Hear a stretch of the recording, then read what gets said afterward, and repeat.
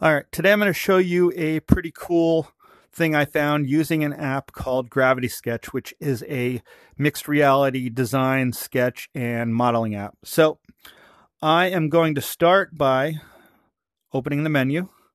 I've got this M12 battery model here. Let's switch it to millimeters so it's dimensionally accurate. And then let's bring in this image map and I'll show you what that's for in a second. Okay, we can close that. All right, we have our battery here.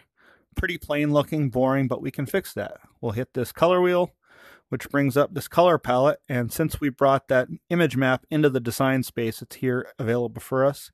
We'll select that. And now we have a battery that looks true to life. All right, so now I'm going to go into mixed reality mode and show you how this might be useful. All right, so here we are in my office. We've got our battery still floating here. I've got the real battery here. As you can see, they're dimensionally identical, and this digital representation is actually dimensionally accurate to the physical one.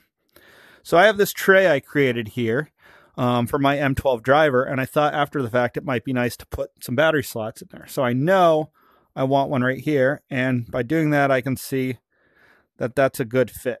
No matter how I turn it, it's going to fit there. But I also just realized I could fit one here as well and I may not have noticed that right away without playing with this first. So we see that those are both good, so maybe we want to take some notes. So I'll select solid color, and so we know we can fit one here. I'll do a circle here, line up to here, draw a little arrow. I know I can fit one here. I'll do a circle here, line up to here, draw an arrow, and then I might write good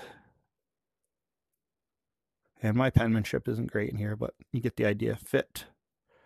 And that's just very basic. Um, that probably wouldn't be some kind of note you'd take, but this shows you that there is that functionality that you could take notes on a mixed media design process. So that is bringing a 3D scanned object into Gravity Sketch in a nutshell.